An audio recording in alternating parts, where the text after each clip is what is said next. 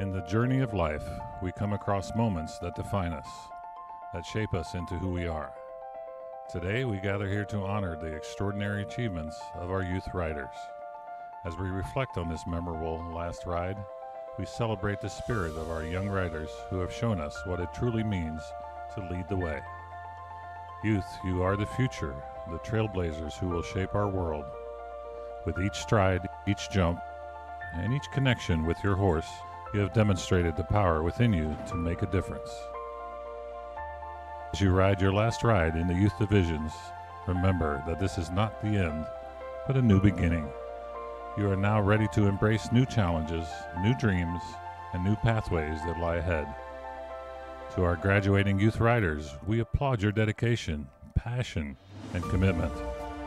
Know that you have already made an impact and as you move forward, remember that the world awaits your leadership.